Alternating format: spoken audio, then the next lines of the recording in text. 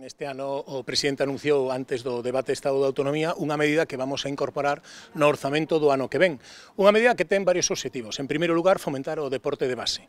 Para nós é fundamental que, que todos os rapaces e rapazas eh, novos eh, practiquen deporte, calquera disciplina e que se habitúen a mm, eh, practicar deporte ao longo da súa vida. Irán cambiar... Teñen ademais a función de aportar ás familias economicamente para combatir a inflación.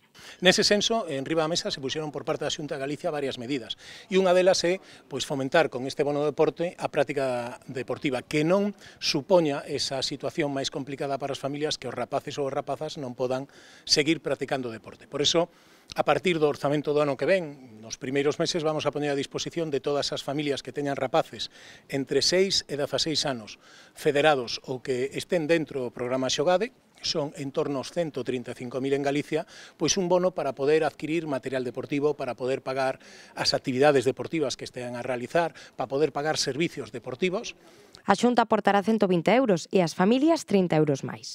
O programa Xogade poderán inscribirse os centros de ensino, AMPAs, clubes, escolas deportivas municipais, agrupacións deportivas escolares e asociacións que desexen, pertencentes á Comunidade Autónoma de Galicia a todos estes rapaces lle pagamos o seguro obligatorio. Somos a única comunidade autónoma en toda España que lle pagamos o seguro. Ven supoñendo en torno a 2,5 millóns de euros o ano para, para a Xunta de Galicia, pero un aforro importante tamén para as familias. E todos aqueles rapaces que están en idade escolar e participan nalgún equipo deportivo ou participan nas actividades deportivas que ten o colexio, forman parte dese programa Xogade. Por lo tanto,